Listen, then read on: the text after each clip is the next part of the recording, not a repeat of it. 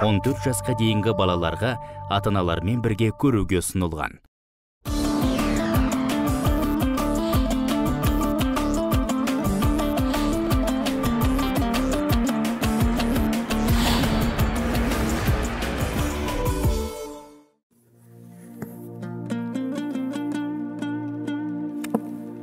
Баламды медресеге біл деп бердім. Қызмет қылсын шен алсын деп бермедім дегенді абай атамыз дәл осыдан бір жарым ғасыр бұрын айтыпты. Бүгінде перзентін медресеге жіберген ата аналарды көріп аллаға сансыз шүкір дейсің. Келешегін кемел етуді ойлаған халық қана руханиятқа қарай бой түзері анық. Ассалаумағалейкум көрермен эфирде үшінші мегаполис. Бүгін біз имандылық ұясы шымкент медресе колледжіне келдік. Бұл жерден ислам дінінің кәусарына сусындаған талай шәкірт түлеп ұшқан. Елге белгілі медресенің ішкі жүйесі мен тәртібі қандай екен? Оны бірге білейік.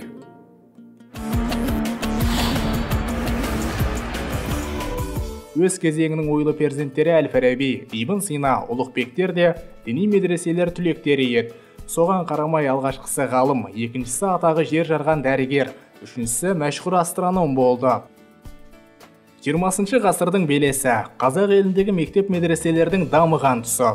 Бұл дәуірдегі ақын жазушылардың білікті азаматтардың бәрі дерлік. Медреседе білім алып дүнияви көзқарасы қалыптасқан ел қамын жейтін қайраткер дәрежесіне дейін көтерілді. Олардың қатарында ғалым шоқан уәлиханов ағартушы ыбырай алтынсарин ақындар абай құнанбаев мәшһүр жүсіп көпейұлы шәкәрім құдайбердіұлы сынды бірегей тұлғалар бар.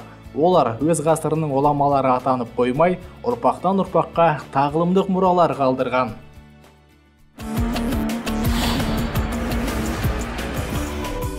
Қазір рухани білімге аңсар ауғандар шетелдің діни оқу орындарын кезбей ақ өзімізде білім алуға ынталы. Қазақстанда діни басқармаға қарасты жоғары оқу орындарынан бөлек тоғыз медресе мен үш қарилар орталығы жұмыс істейді. Діни білімді мамандар дайындауда. Оңтүстік өңірінің алар орны бөлек. Өйткені сарыағаш пен шымкенттегі қос медресе колледжде ілім алып ел руханиятына қызмет еткісі келген жастар көп. Бұл егеменді еліміздің тұңғыш медресесі. 97-тен 2007-ге дейін дінтанушы ә, ислам институтының дінтану факультеті болып қызмет атқарып келген. Сол 2007-ден бері қарай шымкент медресесі болып ашылған. 2007-тен бері он жыл 10 жыл болды.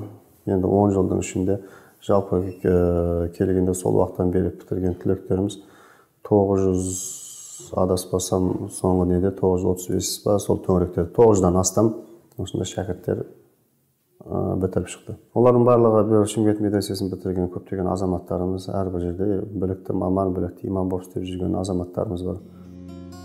Шариғатқа сүйенсек діни тәрбие нәрестенің дүние есігін ашқан күнінен бастап берілуі тиіс. Енді пайғамбарымыз алейхисалам мынандай өсиеті бар ғой. Әрбір туылған жас нәресте ислам шекарасында ислам деңгейінде туылады бірақ оның ата анасы ә, мұсылман қылады яхуди қылады ә, мәжуси қылады отпарас қылады бұтпарас қылады ол тәрбиеге байланысты. Ол ә, жалпы келген уақытында дүниеге нәресте ол келмей тұрып оны тәрбиелей білу керек. Ә, дүниеге перзент келгеннен кейін оны дұрыс ә, жастайынан ә, тәрбиелеу ол әрбір ата ананың борышы. Енді біздің шариғатымыз бұйырғандай жеті жастан бес жастан яғни ислами тәрбиеге бет бұрғызуға бұйырылған. Естеріңізде шығар. 2015 жылы медреселердің оқу бағдарламаларына өзгерістер енгізілген болатын. Сол кездегі мүфтиіміз ержан қажы малғажыұлының бастамасымен ел ішіндегі бес медресе колледж деңгейіне көтерілді. Болашақ дін қызметкерлері енді мемлекеттік мекемелерде діни және зайырлы мамандықтар бойынша қызмет етуге мүмкіндік алды. Ә, жаңағыдай оқып игергеннен кейін әрбір адам ақ пен қараны ажыратып қандай сала болмасын көзін ашып адал мен араны арамды ажыратып жігін орта, орта жігін бөліп алатын болса ол өзіндегі ол ары қарай дін қызметін ары қарай жалғастырып оқып кетер. Болмаса басқа салада қызмет істесе де мұғалім болса да сот болса да прокурор болса да саудагер болса да өз өзіне керекті мәліметтерді алып адал қызмет жасай алады деген мақсатта яғни жылдан жылға бұл шәкірттер саны көтеріліп келе жатыр имандылық ордасының арнайы аудиториялары мен дәріс залдары спорт алаңқайлары компьютер бөлмелері бар. Ал білімнің қайнара жатқан кітапханасында алты мыңнан аса түрлі бағыттағы әдебиеттер жинақталған. Міне шәкірт жадына иман нұрын құятын жерде оқып білім алудың өзі бір ғанибет. Менің алдыңғы аталарым сондай діндар адам болғандықтан мені де сол ә, медресеге түсіп сол алланың кәлемдарын үйренуге соны жеткізуге соны әкем өзі қалады. Әрине білім инемен құдық қазғандай.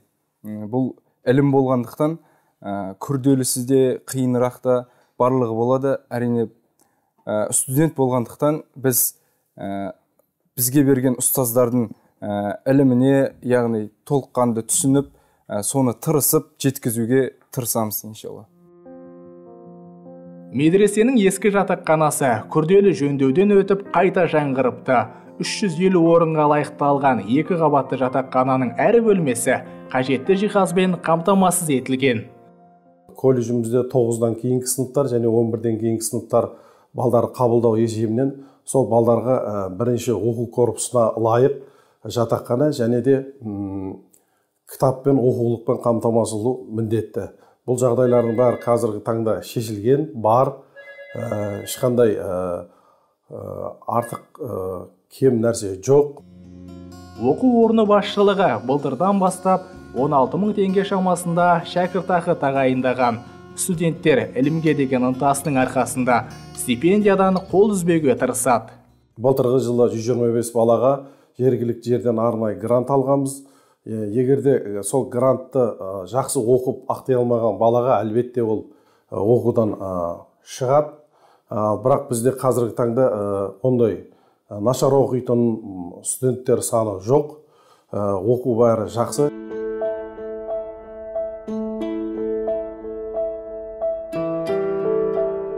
Оқу орнының ұлдар бөлімінде 180-ге жуық қыздар бөлімінде жүзден аса шәкірт бар. Олардың үш уақыт тамағы мен алатын білімдері тегін.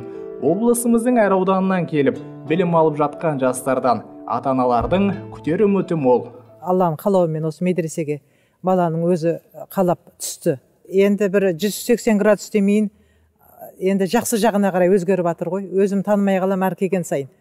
Ә, жаңағы әр ісіне менен гөрі амал ететін сияқты. Мама мынаны деп мені жөнге салатын сияқты негізі. Осындай осындай деп әйтеуір не не қылады. Қандай құран аяттары болса да үйренген амал етіп жатқанын өзім көріп біліп жатырмын ғой келген сайын.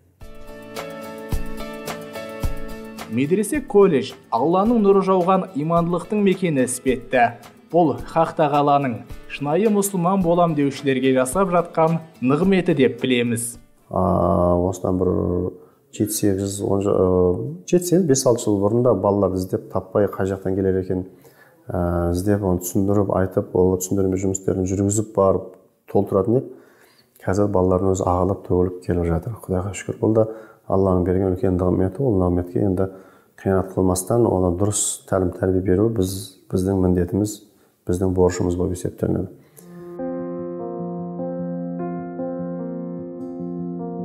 Мұнда қызмет ететін ұстаздардың барлығы жоғары білімді білікті жандар. Алланың жолын тазалықпен ұстап уақытпен санаспай қажырлы еңбек етіп жүр.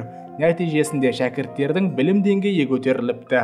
Өткен бұрынғы жылдарға қарағанда ілімге деген жастардың осы қазақ халқының жастарының болашағына деген нық қадамы нәтижесінде өсіп келе жатыр деп айтуымызға болады. Өйткені қабылданған шәкірттердің санына қарап та бұны біле берсек қате айтқандық болмас иншалла. Не ексең соны орасың дегенді негізге алған айгүл апай балам дін ілімін алып көкірек көзі ашылды дейді. Перзентіне ілім үйреткен ұстаздарға рахметтен басқа айтары жоқ. Шәкірт шығару оңай емес ұстаздар үшін. Ұстаздарға шексіз алғысымызды білдіреміз.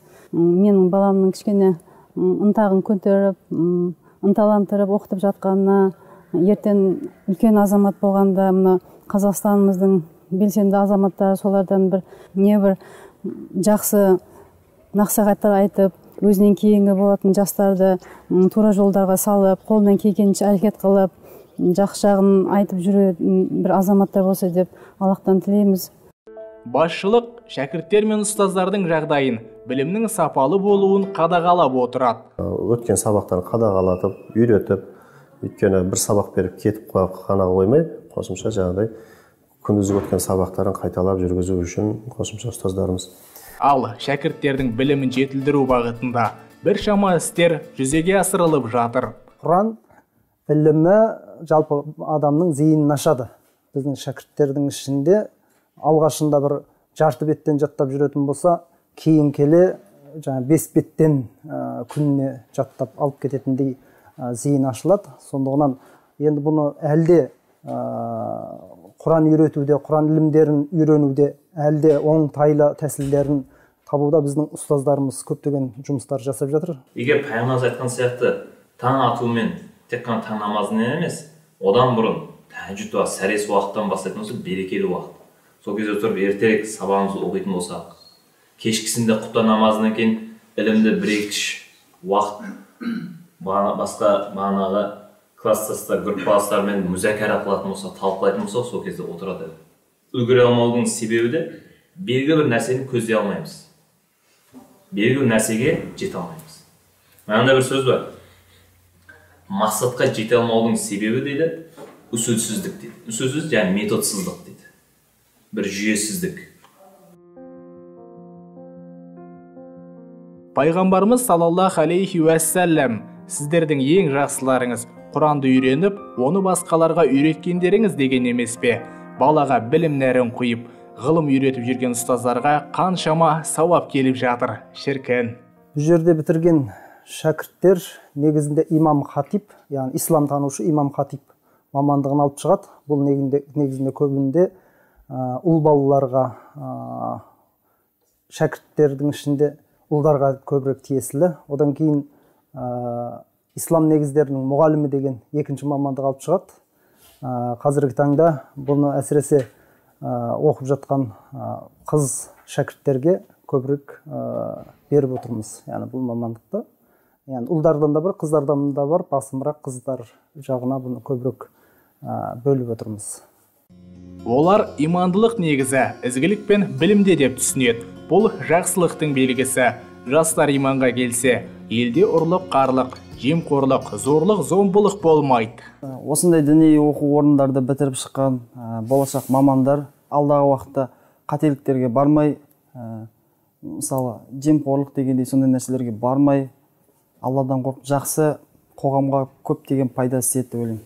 Өзіміз сияқты жігіттерге ненің болмайтын ненің ә, рұқсат емес екенін шариғатта ол нәрсеге қандай нәрсе айтылғандығын солардың бәрін жеткізу. Үйренгенімізді басқа біреулерге үйрету басқа адамдарға. Ілім деген аманатты арқалап үлкен өмірге қадам басатын түлектердің жұмыспен қамтылуын имандылық ұясы өз жауапкершілігіне алған. Жалпы келгенде неше бала бітіретін болса оның жүз пайыз қызметке не оқуға орналасу бізге міндеттейді. Мысалы 30 бала бітіретін болса оның 15-і дін саласындағы мешіттерге сауат ашу курстарына оқуға қызмет кететін болса оның сол діни басқарма арқылы жаңағыдай түркияға болмаса әл асқарға болмаса нұр барак университетіне оқуға қарай жалғастыруға кетеді. Болмағанда енді әрине жүз пайыз барлық жерде шешіліп шешілетін нәрсе бұл кемде кем. Соның ішінде 99 пайызы балалар қызметпен не оқумен қамтамасыз етіледі. Оның ішінде бір бала болмаса екі бала шығып қалуы мүмкін. Медресе колледж жанында алланың жердегі үйі орналасқан. Әр намаз сайын шәкірттермен жақын маңдағы жамағат иық тіресіп тізе түйістіріп құлшылық қылады.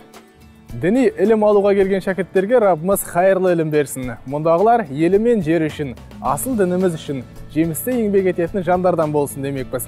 Алла тағала дін қызметкерлеріне білім биігінен көрінуді нәсіп қылғай. Осымен бағдарламаны тәмамдайтын уақыт келіп жетті. Сіздермен келесі аптаға дейін қоштасамыз.